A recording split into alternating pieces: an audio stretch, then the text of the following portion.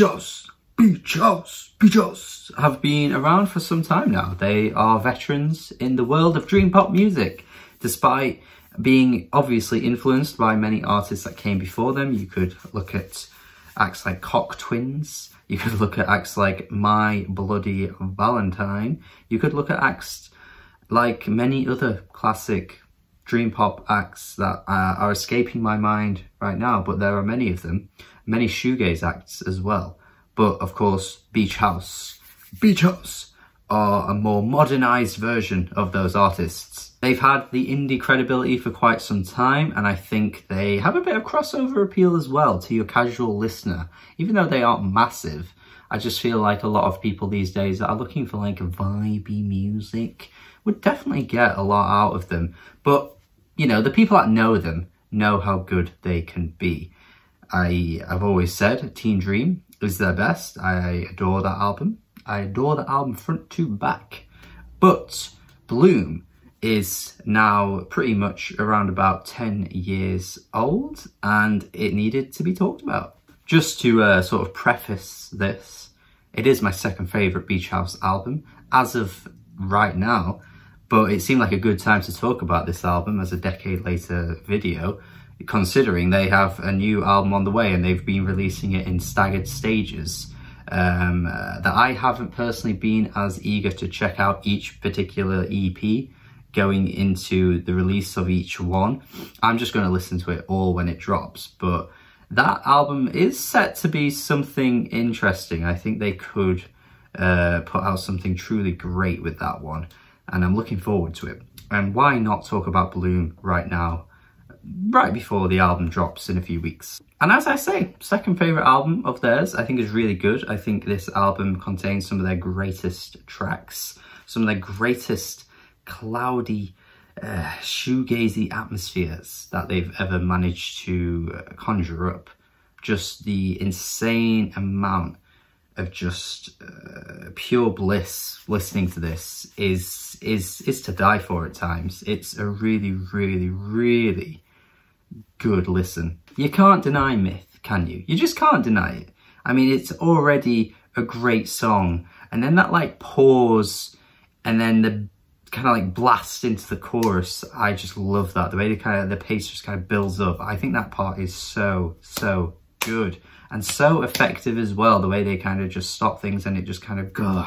That switch up is unbelievable. And I think it just goes to show that they can come up with creative ideas because a lot of these tracks follow a pretty standard beach house dream pop even formula but this track I feel like subverts your expectation with it with that one moment in the song. And it's uh, it's only one moment. I mean, you know, it's a it's, it's leading into the chorus.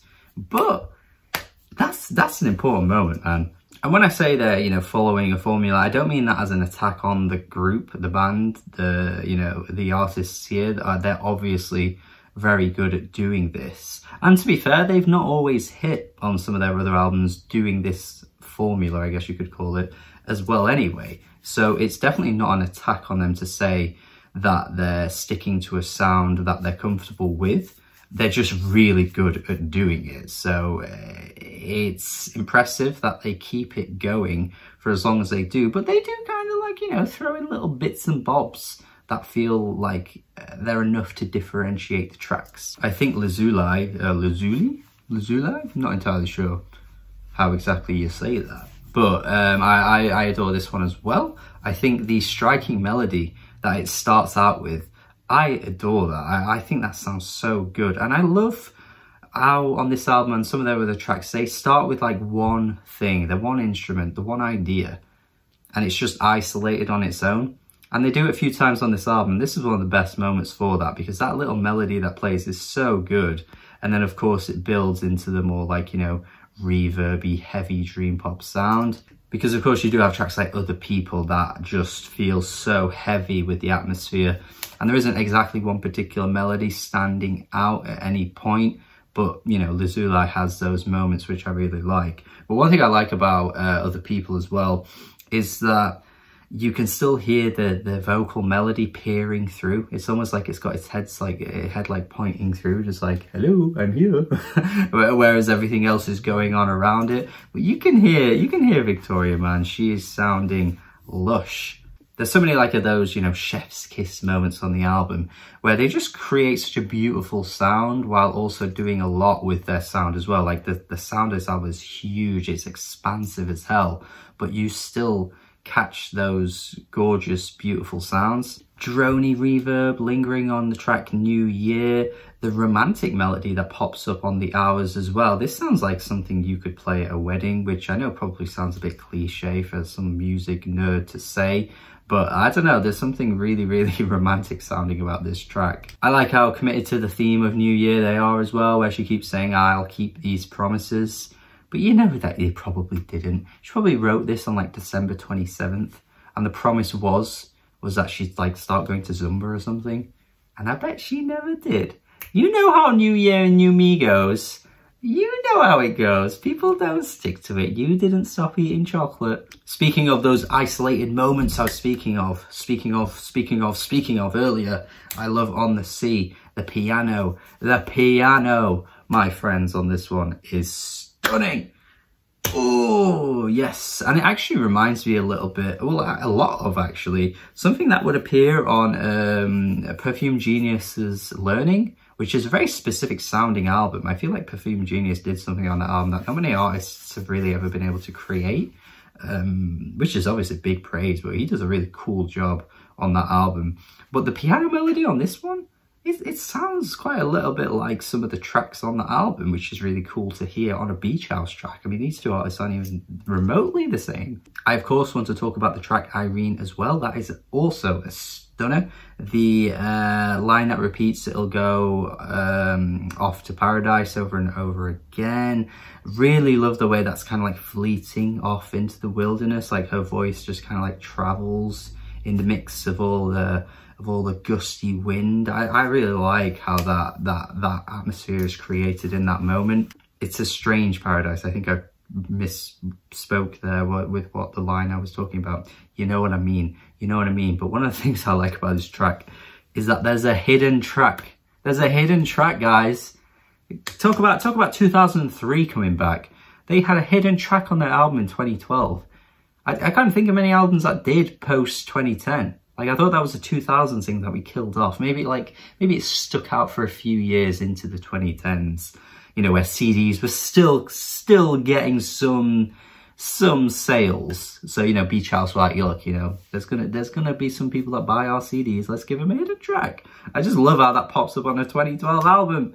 The hidden track as well is pretty nice, to be fair. But the one track I want to mention, I mean, I do think Myth probably takes the cake, takes the win the big win for best track on the album, but Wishes, Wishes, Wishes strikes a really strange tone that's incredibly engaging and incredibly effective as well. Like I say strange in a positive way, but it's just really odd how it comes about. Because there's something about the track that feels so magical, but yet it also feels daunting.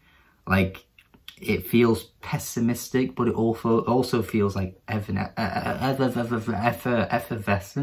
and it also feels hopeful, but it also feels depressing. Like there's such a weird contrast of sounds coming to the front here. And I can't quite pinpoint what emotion I'm supposed to feel. But that's just how cool Beach House are at creating these kinds of tracks. There's just nothing quite like it. So even though you could easily say, look, they pale in comparison to their influences, I think you'd be a fool to say that. I think you would because I think Beach House have really set themselves apart from many other artists over the years.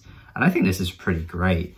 I, I wasn't sure how I used to feel on this album, but um, having you know gone back to it recently, I, I, I'm yeah, I'm I'm teetering more towards a great side. I think this actually could go toe to toe with Teen Dream, but I would still say Teen Dream is a little bit better. And I feel like tracks like Wishes just encapsulate everything they're able to achieve. They just create such a cool, contrasting vibe that you can't ever quite pinpoint.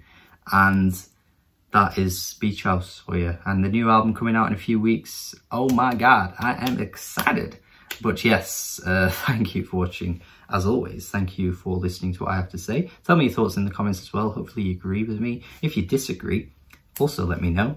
And uh, subscribe if you haven't already. If you've stumbled upon this video just because you're such a big Beach House fan, I hope you have stumbled upon it.